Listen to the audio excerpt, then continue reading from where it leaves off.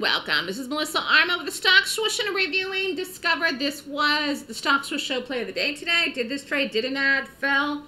Beautiful, beautiful, beautiful move. Originally, I was looking for this to break 99, then 98. It fell off a cliff. So again, it wasn't something that I normally want to hold trades as long as I held this thing, but it ended up being that was the case today. That I was in two things this morning, which again is unusual. They were snails. They were absolute, absolute, absolute snails. And so I had to wait for them to get the move. But it all worked out and it all paid off. And I was very happy about that. So let's take a look at it. This was earnings. Again, it's earnings season. We're in full swing here. Stock close here at 108.74. Gap down here at open at 101.04. Rallied, then broke. So as you can see, get over here. This is not today.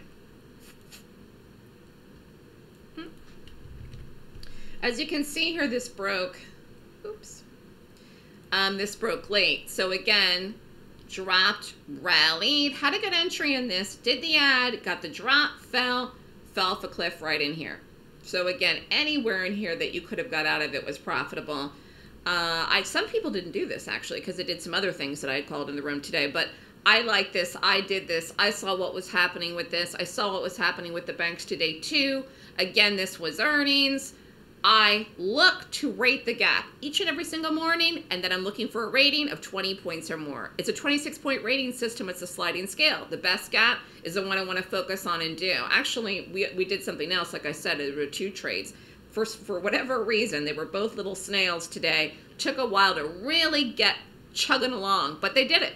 They did it. And the fact that I did the add in this really helped this go and make this just a huge, huge short for me today. I did not call a put in this. You could have done a put in this. I didn't even look at the price on them. By that time, it was too late. I don't always do the same trades as day trades and options, just so you know. And again, the options newsletter is a separate service, a subscription service. But I do love day trading. I do really, really love it.